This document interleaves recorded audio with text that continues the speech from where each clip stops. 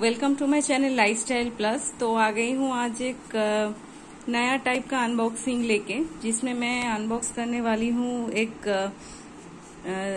Gold jewellery. तो ये मैं लोकल मार्केट से खरीदी हूँ। मैं खड़गपुर में खड़गपुर का एक आउटलेट से मैं ये खरीदी हूँ। तो ये जो आ, है प्रोडक्ट ये एक बहुत अच्छा नेकलेस है। नेकलेस नहीं रेदर आप बोल सकते हैं पेंडेंट है। तो देखिए, ये रहा।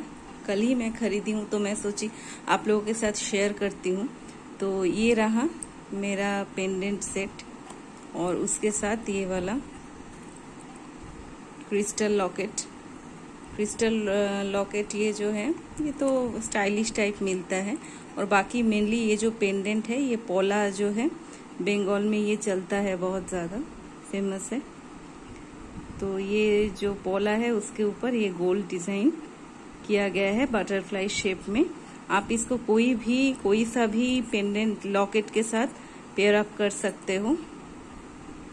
तो अभी मैं इसको पेयर अप करके दिखाऊँगी दूसरा टाइप का। इस टाइप का लॉकेट चेंज करके दिखाऊँगी। मेरे पास और एक है, चंद्रानी पार्ल का ज्वेलरी तो ये भी एक नेकलेस ही है। तो मैं दिखा, देखूँगी कि इसके साथ ये मिक्स मैच करके कैसा लगता है। अगर होगा तो इसको हटा के इसमें ये डालना होगा। तो मैं ये शायद अकेले नहीं कर पाऊँगी क्योंकि ये सेट जो किया, ये पूरा मोती का माला इस पर सेट किया गया है। तो शायद मैं ये चेंज नहीं कर पाऊँगी। तो मुझे दुकान में लेके जाके ये करना होगा, लेकिन मुझे लग रहा है शायद इसके साथ व्हाइट के साथ ये रेड ज़्यादा अच्छे से जाएगा। तो आप लोग बताइए कि कौन सा अच्छा लग रहा है। और ये चौंद्रानी पर्ल ज्वेलरी जो है, ये भी बंगाल का बहुत फ़ेमस है। तो कोलकाता का फ़ेमस है ये Chaundrani pearl and silver jewellery. तो ये मुझे गिफ्ट मिला था। शादी में इसके साथ एक इयरिंग सेट भी है। अच्छा लगता है देखने में। इसको आप कोई भी सलवार सूट के साथ भी पहन सकते हो। एकदम रियल पर्ल है। ये फॉल्स पर्ल नहीं है। ये पूरा मोती रियल मोती है ये। क्योंकि आपको छूने से ही पता चलेगा। बहुत हेवी है, बहुत अच्छा है।